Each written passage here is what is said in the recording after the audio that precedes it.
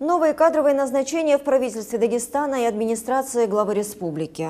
Инсаф Хайрулин назначен заместителем председателя правительства Дагестана. Ранее он был исполняющим обязанности вице-премьера, а ныне утвержден в этой должности. Кроме того, заместителем председателя правительства Дагестана назначен Анвар Халилов.